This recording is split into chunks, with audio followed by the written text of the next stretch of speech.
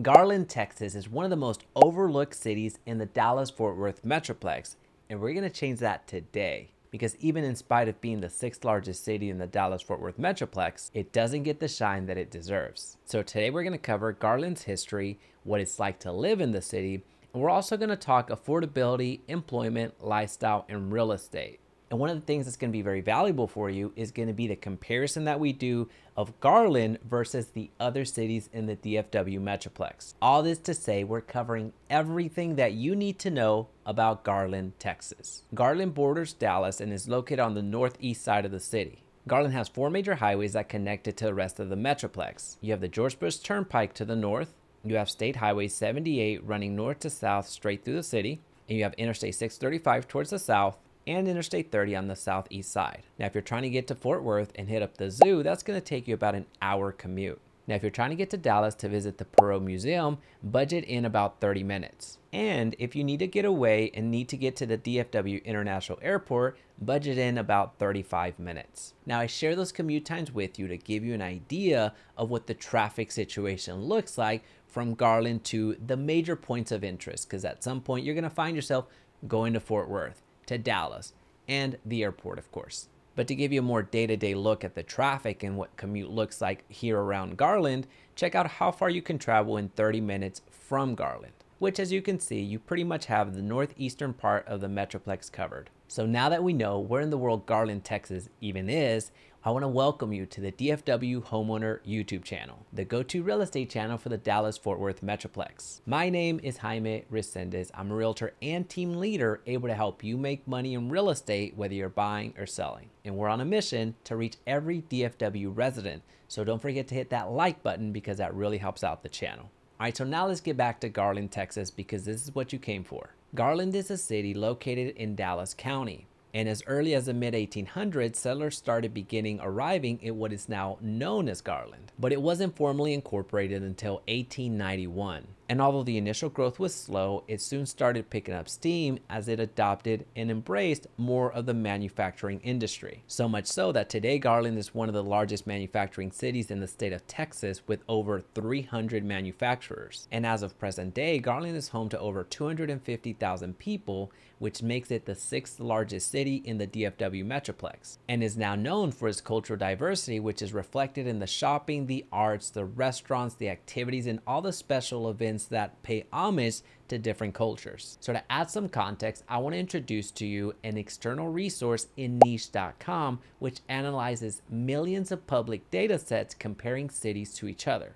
And as you can see, Garland received an A minus from Niche, aggregating these 12 categories seen on the screen right now. And when given the opportunity, Garland residents and former residents gave Garland a 3.5 out of 5 stars. Now this report and the reviews are incredibly detailed, so I'm going to leave it linked down below so you can check it out at your leisure. Because now we need to talk about the parks, the trails, the amenities, and the recreation in Garland. Now, if you're looking for parks, you have options, given that there's over 65 parks to choose from in Garland alone. Now, if trails are more of your speed, you can hop on one of the 15 available to you. Now, overall, you have options whether you're trying to do disc golf or take your dog to the park, check out the pavilions, go to the rec centers, play some golf, or get entrenched in Garland arts. And as far as overall recreation, you have plenty of facilities to choose from. All right, so now let's look at one of the most important requirements for every homeowner, which is the school system. Because regardless if you have kids or not, it impacts you. Number one, with property taxes,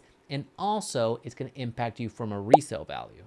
Now the Garland Independent School District is comprised of three cities, Garland itself, Sachse, and Rowlett which has a total of 71 campuses, which makes Garland ISD the second largest district in Dallas County the fifth largest in Dallas Fort Worth, and the 15th largest in Texas with over 55,000 students enrolled. And as of last year, had a 95.2% graduation rate. Now, if you're looking for the students to teacher ratio, that is 15 to 1, right on par with the state average. And another interesting stat for you is that the percentage of teachers with three or more years of experience is 95%, which is actually 11% higher than the state average. Now, as a real estate agent, there's certain things that I can't get into when it comes to the school system. So I'm gonna leave a full report on Garland ISD down in the description for you to check out. But what I am able to get into is answering a very important question.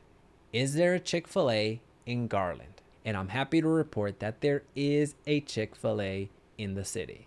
Now I understand not everybody values Chick-fil-A as much as I do, which is okay. So now we're gonna start talking about some real estate because regardless if you're a renter or a homeowner, real estate impacts you and it impacts you directly. So we at least wanna have an understanding of what the real estate market is doing in Garland. So let's get started from a macro perspective. The typical home value of homes in Garland is $321,106. Now this value is seasonally adjusted and only includes the middle price tier of homes. And Embrace for this, Garland home values have gone up 27.4% over the past year. And that is not a typo. Check out what's been happening in the last 10 years and pay very close attention to the acceleration of this curve in the past year. So yes, as of right now, the median home value in Garland is roughly $322,000. But to give you a better sense of how that stacks up against the other cities in the DFW Metroplex, check out how that compares against other cities that are surrounding Garland. Sachse has a median home value of $472,000. Rowlett, $412,000. Sunnyvale, $645,000. Mesquite, $296,000. Dallas, $337,000 and Richardson's median home value is $468,000. So as you can see, the median home value in Garland is actually on the lower end compared to the cities surrounding it. Well, in fact, Garland made my list of the most affordable cities in the entire DFW area altogether. So you're gonna wanna check out that video right here where I break it down. But at this point, if you're wondering, well, sure, I know now that the median home value is $322,000. What do I actually buy with that? Well, that's a very good question, and I'm glad that you asked that because here are the homes that are available for sale right now in that price range.